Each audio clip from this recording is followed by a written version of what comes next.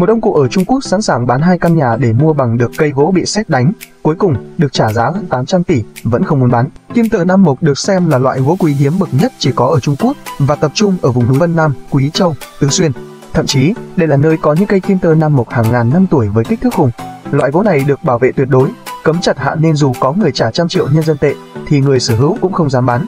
Một trong những cây kim tơ Nam Mộc cổ thụ nổi tiếng nhất ở Trung Quốc phải kể đến là cây 4.300 năm tuổi ở Quý Dương, Quý Châu, từng gây sốt truyền thông vào năm 2013.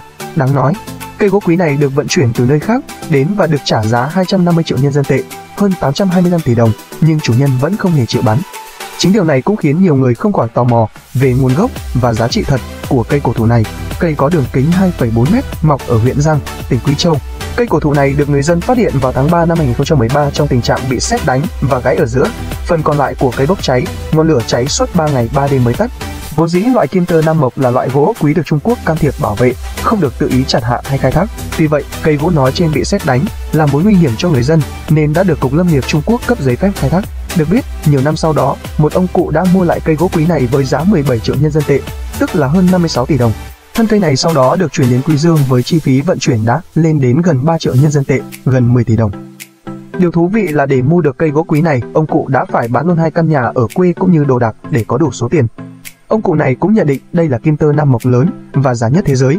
Tuổi của cây này được xác định bằng phép đo carbon 14 hay còn gọi cách định tuổi bằng carbon phóng xạ. Thậm chí, quá trình định tuổi cho cây kim tơ nam mộc này được thực hiện bởi một nhóm chuyên gia ở Thượng Hải và được xác nhận theo dạng khoa học, có giấy chứng nhận đi kèm, treo bên cạnh cây. Sau đó thông tin này đã được lan truyền và nhiều người đã hỏi mua cây quý này với giá lên tới 250 triệu nhân dân tệ, tức hơn 825 tỷ đồng. Tuy nhiên, chủ nhân của cây 4.300 tuổi vẫn quyết định không bán vì cho rằng đây là kho báu vô giá và sẽ rất tiếc nếu như thân cây bị mang đi làm đồ nội thất, trang trí. Ông cụ cũng từng chia sẻ mong muốn sẽ xây dựng một bảo tàng kim tơ nam mộc để nhiều người có cơ hội chiêm ngưỡng loại cây quý này. Còn bạn, bạn thấy sao về dòng gỗ quý báu này? Hãy đăng ký và theo dõi kênh để đón chờ những video thú vị sắp tới nhé!